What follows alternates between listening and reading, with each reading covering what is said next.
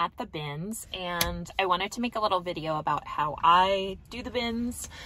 I know bins are different everywhere, so um, I'm just gonna share what things I use and what tools I use to have the most ease when I'm picking at the bins.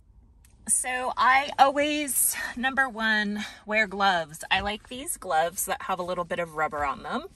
I bring a bag to put on my shoulder, one of the big blue Ikea bags.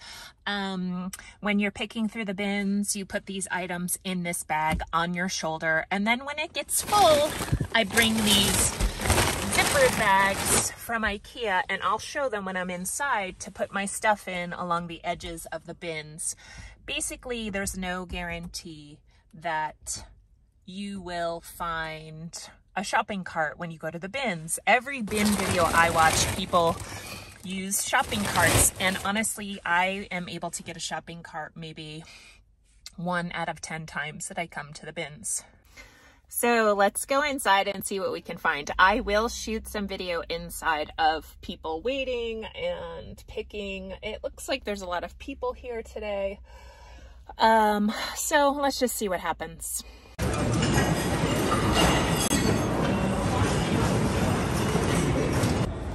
There are definitely a lot of lulls when going to the bins. It's a good time to sort items and look closely at things you've already picked, waiting for 10 new bins to be rotated. Here's a Hulken bag in the wild. If you feel paper inside of a pocket, be sure to reach into that pocket. It could be $20. Here's my stuff. I find cloth to put over my items sitting on the side.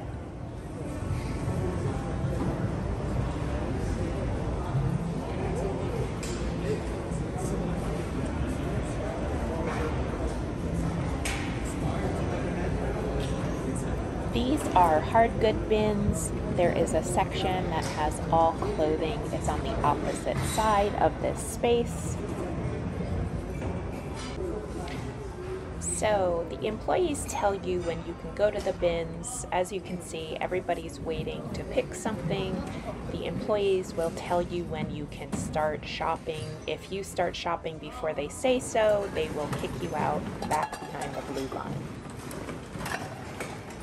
Warning, people are very rough when they are searching through hard goods and there can be broken glass. That's why gloves help a ton. When I'm fortunate enough to find shoes at the bins, sometimes I will pick up brands that I normally wouldn't purchase at a higher price point when I'm sourcing from a thrift store. So maybe some of these items I would have never really purchased before. They're new brands to me. Some of them are tried and true brands. These are a pair of Lucky Brand stacked heel. I would call them a peep toe booty, but they are technically a sandal. Really nice condition, so I pick them up. It's funny because they're like a size five, but when you look at them, they look more like an eight. Very weird. The next slides I picked up are the brand called Arche. I'm gonna turn them this way so you can see they've got a really cool outer sole. This brand is very high-end, sells at like Bloomingdale's and stuff. Um, there's just a little bit of wear to these. I'm not gonna be pricing them at a high price point, maybe $25. I did pick up these Danskos that are brown and have like a gold tone to them. The sole is in really great shape. The suede is worn in.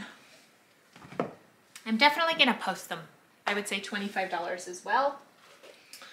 Picked up just a pair of Josef Seibel, probably am butchering that, leather shoes in nice condition.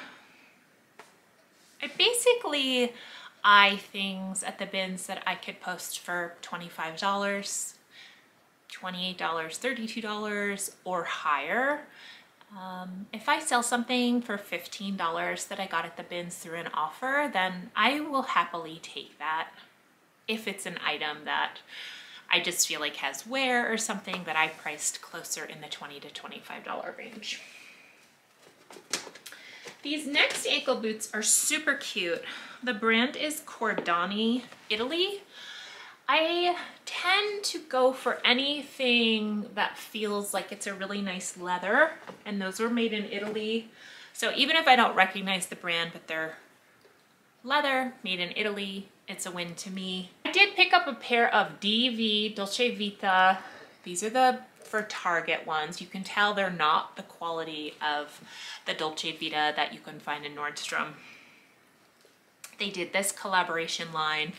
This is what that label looks like when it is the Target collaboration. It will say Dolce Vita if it's the regular line.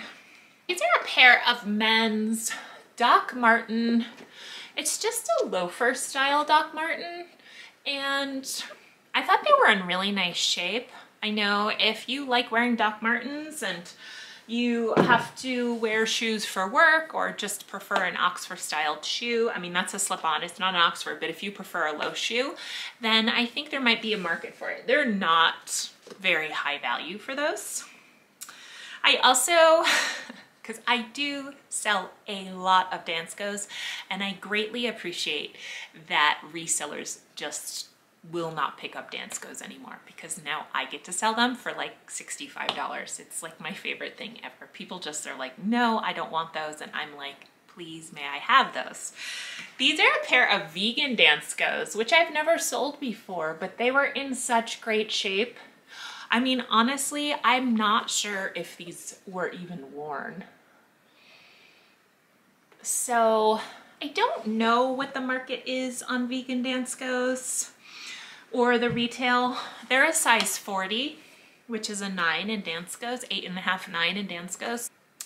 The next brand I've never picked up before, but just this style of boot is very popular. The maker of this boot is Vagabond. These boots did have some wear to them, but once again, I cleaned them up last night. You can see the scuffs in the toe.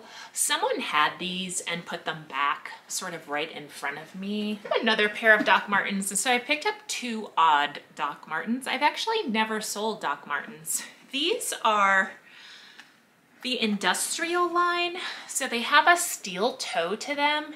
They kind of have a more Timberland style. They are a smooth leather, but they have this marking here, which makes them look a little bit more like a work boot. Brand I've never heard of before. These are selling new with tags on Posh.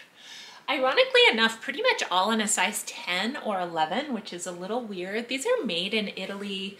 They're called like the urban knee-high boot.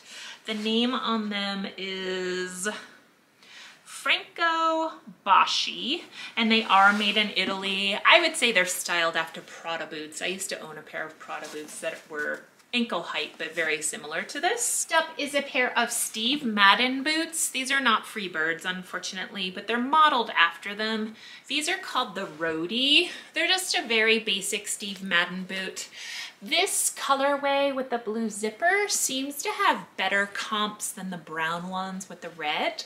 But I found a pair of Melissa button boots. These are a size 10, which I'm very happy about. They're shiny looking. They have like a crackle distressing to them. I believe it's actually called a crackle. And so they're in nice shape. They're a size 10. I will definitely price these at around $150 and see where it goes. Open to offers, flexible thinking. And the last pair of boots that I got at the bins, the brand is OTBT. I don't know what that stands for. These are just actually, I would say really modeled off of the Frye Melissa boot, the button boot. Might be, oh, El Vaquero, El Vaquero 80s original Apache boots. I'm gonna show you this tag. They actually had a collab with Free People. So their boots, when they sold at Free People, were closer to like $450.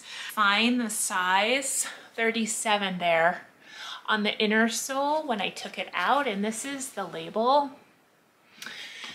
So I do have a thrift store that I go to occasionally and they have some really nice high-end shoes and they mark them up these boots retail for about $500 and so I paid 50 for them. I'm hoping to sell them for 150, 175 and I do think making $100, $75 is a really great profit margin. You do have to put out that $50 initially compared to I probably got all the shoes at the beginning of this video for $50.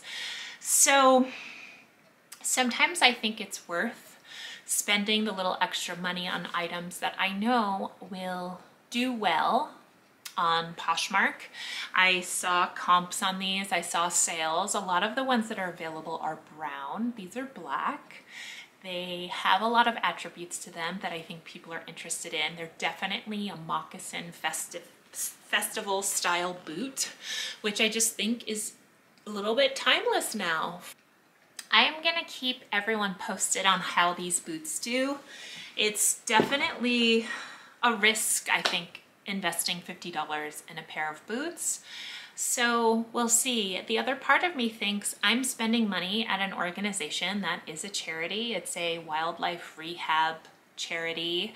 So when I spend money there, it helps support the animals. And I feel like it's a win-win situation. I'm supporting a charity that does good. I'm investing a little bit. It makes me a little bit nervous to spend $50 on boots, but here we are. I did it. And then I spent $50 on 10 pairs of shoes and we'll just see how they do. I'll keep everyone posted as things sell on what's had a big walk this morning. Did you have a walk? Did you have a fun walk? Yeah, you did. And now you're sleeping. Oh, I'm gonna take some pictures and you're gonna be a good boy. I hope everyone is doing well. If you like this video, as we all say, as everyone says, you could give me a thumbs up, you could subscribe. I also have recently been saying, I don't know what I'm gonna post next. It's just kind of the experience of this process. I love sharing it. I hope that you're picking up some tips and ideas, maybe seeing brands that you wanna try to pick up. This is part of the clothing haul from when I went to the bins. I have just cleaned and dried and steamed and processed a bunch of stuff that I haven't photographed yet, but I wanted to share what I picked up. So I have a lot of stuff. Let's get started. This is a really fun find. I saw this plaid and was like, ooh, what's that? And now, granted, I live in Colorado, so these sort of ear flap hats really are common to find, but not in a cool plaid. And then you'll probably recognize that logo right there. This is a True Religion hat, and it turns out that this is, I don't want to say vintage, but it's a little bit older on the True Religion side, and people collect these. I think I'm going to post this for around a $100. It's really well constructed and warm. I just have to get it up like ASAP. Like I had to get it up yesterday. The next item I have, the brand is called English Factory. This is a brand that's new to me. I've never picked up English Factory before.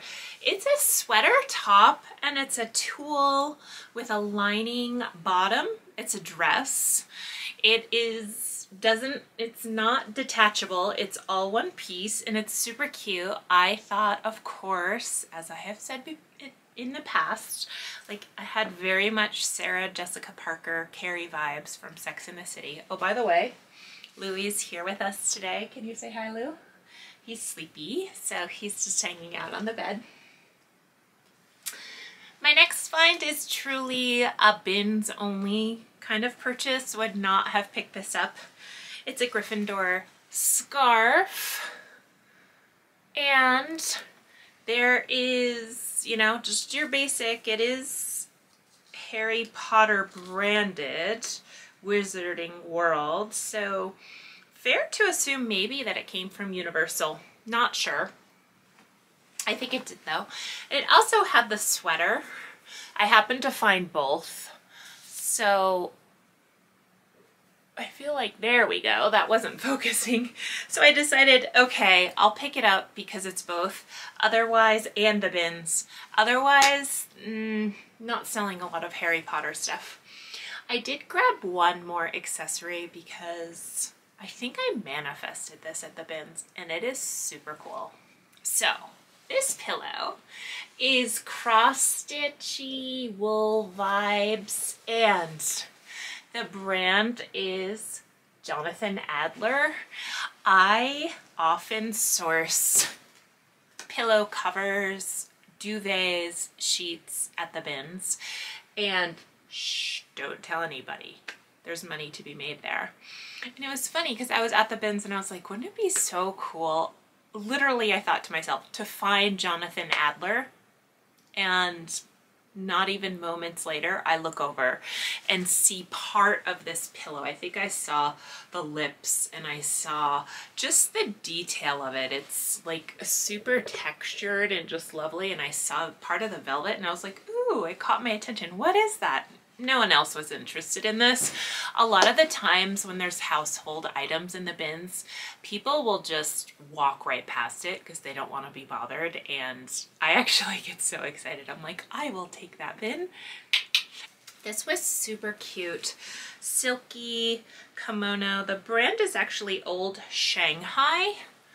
And I do have the belt to it. I just didn't wash the belt, but it has this floral with peacock print, pockets in the front, very pretty. It feels like silk, but I can guarantee it is not silk. There is no material tag present, but I'm just gonna call it not silk, but feels like silk. I picked up this Athleta, very soft and cozy open cardigan. I, looking at it closer, it does have a lot of pilling, so I'm on the fence about posting that, maybe at a cheaper price point. As always, I love picking up Patagonia. These are just the stand-up shorts, I believe they're called. I don't know why. There we go. That's not focusing. They're kind of this five pocket style. They have a little pocket up here. Then they have these two pockets. They're organic cotton, but the feel of the material is like Carhartt pants. I have already sold three pairs of these shorts. I have one pair currently posted and they're just, they just sell very well. They're, this is very soft and I'm on the fence if this is a man's or a woman's. The label and the brand is just REI Cooperative. It's kind of a cropped quarter zip very soft pullover. Didn't look for comps on that. I just liked the style of it. Is Lilka, L-I-L-K-A. I've never picked up this brand before. Let's see if I can get that to zoom.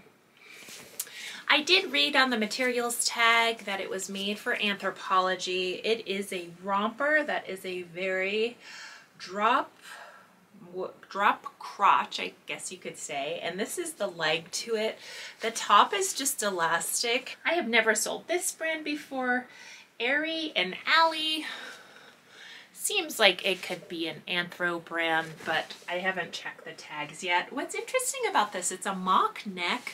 It's kind of a jersey knit, but it's super stretchy. Like, uh, look at the give and the stretchiness. So it's cropped and striped and textured and soft checks all the boxes for things I like to pick up. Possible Denver Nuggets jacket. It's currently on the logo side, but you can also wear it on this side. I would say comps on this are pretty good. I think I can post it for $75, $80. Um, Unk is the brand, kind of like Dunk without the D, NBA branded. It does have pilling here, so I'll spend a little time to kind of get the pilling out of that waistband. This was a new pickup for me. I have actually never found Patagonia board shorts before. So these are Patagonia super cool print and colorway board shorts for men. Here's the tag. A little bit on the worn side. Size 32. Zip pocket. It's got some, you know, a tie at the waist. Just your real classic board short. It also has the logo down here. Excited about that. This brand is also, I've never sold before, Laka USA. I picked it up simply because of the style. So this is a tiered maxi dress, which I find to be very popular. Neutral in color, pockets, definitely a go for me. These are just Royal Robbins, also another brand sold at REI. I picked these up because they actually look like they have never been washed or worn. They're just a woman's hiking short, have things like lots of pockets, Velcro pockets that are really, really deep, zip pocket. Not sure the comps on those, but I'm sure I will post them for around $25. This was an interesting pickup you take a closer look here, some of you may recognize this. It says Pleasant Company. So Pleasant Company was the start of American Girl. That was, I was watching a woman go through the bin and she just like totally passed up this fabric. And I was, it just caught my eye, like what is that? So I go over and I pull it out and I did not expect to find a girl's dress. So Pleasant Company is what the company was called that is now, as we know it, American Girl. So this dress is actually a Josefina dress and they make the outfits for the girl and the doll. I obviously do not have the doll dress. This is, I'm gonna comfortably say, a vintage American Girl doll dress. Nisa Lynn. Was made in the USA and I just thought it was really lovely. Like the, it's a fit and flare dress. It's heavyweight poplin, I would say. Um, a really pretty pattern. I couldn't find many comps on this brand, believe it or not, but I think I'm going to post it for around $48. This was a fun find. This, a lot of you will know what this is when you see it. This is a Disney Parks Spirit jersey. This Spirit jersey in particular is a little bit more of a unique style. It's a size small. This is the, oh my goodness, Briar Rose Spirit jersey. So it's a peach pink color with gold puffy Disney on the front and Disney World on the back.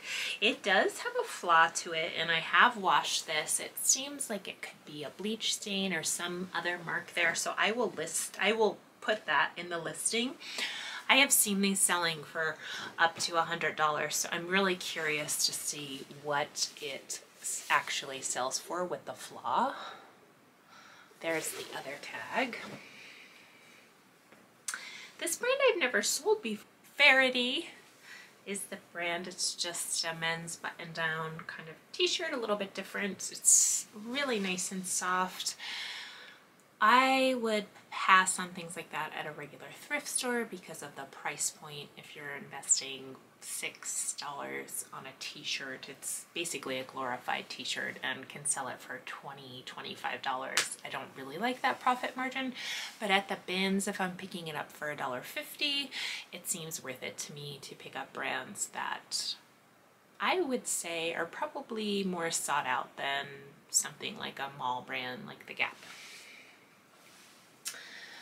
This shirt is American Giant. I was happy to find this. I have sold an American Giant sweatshirt and it sold within two weeks and I picked it up at the bins. This is just a deep purple long sleeve t-shirt. Their clothes are made in the USA and as far as I can tell do really well. I'm not sure about t-shirts but I definitely picked it up. This flannel is called Howler Brothers and it has this little Howler Monkey on the back of it. It's just a very nice colorway, just your basic men's flannel shirt. This is what the tag looks like. It feels like a chambray, but it's dark. It's a light denim jumper. It's got a wide leg, buttons in the front, has a little bit of a stretch elastic back. This is Lauren Conrad, and the reason why I picked it up was because it was an XXL. It's got buttons in the front, super cute, lightweight, great for spring. I usually don't sell rompers, so I'm curious to see how it does. Piggybacking on that, I also found this from H&M denim coverall suit. This is more like a size 6, very cute.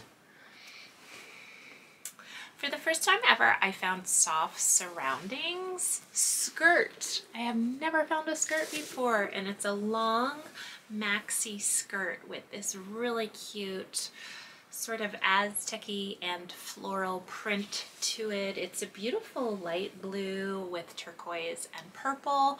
I'm really curious to see how soft surrounding skirts do. I have done great with soft surrounding tops. Here's a pair of just basic BDG Urban Outfitters. These are boot cut. Distressed is how they come. Light wash. I sell BDG for around $32. Those look to be in good shape. They could potentially go to the buy sell trade store and I'd just make some very quick money on them. This was fun. Erica & Co. This is a vintage denim jumper. Of course I picked this up because I just loved these button details. Floral buttons. I think it's a Marshalls brand. It's just a lace cotton sleeveless top. New with tags, white, in great condition. This was a fun find. Joe's Jeans don't pick up Joe's jeans. I will at the bins occasionally, but um, these are some graphic print in the front and black in the back. I just thought the unusual nature of the print and it being a black and white and gray print that I would go for it. This is a Free People sweater. I thought about taking this to buy, sell, trade.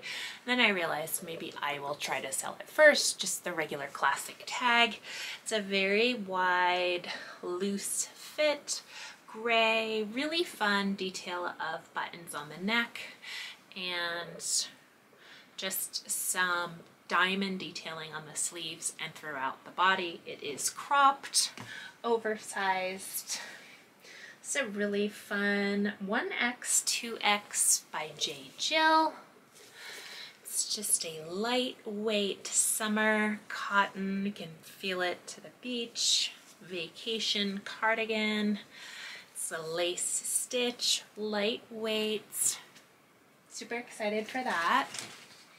I have sold before one of these. This is a Hell Bunny dress, new with tags. The last dress that I sold, this is a brand from England. It sold pretty quickly, I would say within three weeks. Also seem to always pick up a coat when I go to the bins. A heavy coat. And I found this men's Zara. It's a wool blend coat. Could not have any wool in it, but it feels like a wool blend coat. It's just your basic. It's not really a pea coat. It's just an overcoat, a animal print Kickit jeans. There's a cropped version that seems to do really well on Poshmark, and this is a little bit of a longer line. It is a, well, it looks like the size tag is cut out, but I want to say it's closer to a large or an extra large. Pair of new with tags, Munki Munki PJs was able to locate the top and the bottom. Of course, I have a soft spot for anything that is ski themed. You know, sometimes when I'm at the bins, I'm like, I can't leave that behind. I have to rescue that item. The next two items are the rescuer and me. I picked up two Granny Square quilts. It's just kind of greens and a light brown and a yellow and cream color. Very pretty. The next one I also found is actually white and it has a coral color and a pink color flower to it. They're both, this one has fringe, the other one doesn't. They're both about 80 inches by 60 inches, so they're a really great size. They're almost, I would say, twin size. I'm not going to market them or advertise them that way. I'm just going to advertise them as throws, but I will confess, the other night I did have this one on and it is so. It's so warm. And interestingly enough, there is a market for them on Poshmark right now. People are buying those and people are buying ones with the really bright colors. So hopefully they'll like the style that I picked up. I got this because, well, first the colors. It has flowers and birds and it's super soft and it turns out it's just a throw. The brand is Elove and it says houseware and trimmings. So what sealed the deal for me was that it was actually made in Portugal, which I just think is really nice quality. It's so soft and just so pretty. I have a feeling that this will be one of the items that sells right away along with the Jonathan Adler pillow which is hilarious because I go there and I buy all these clothes and I wash them and I steam them and I photograph them.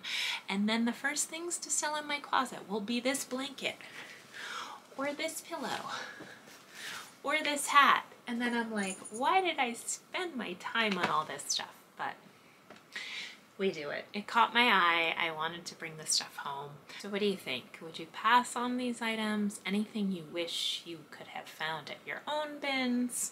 Anything that does really well for you or has been sitting in your closet?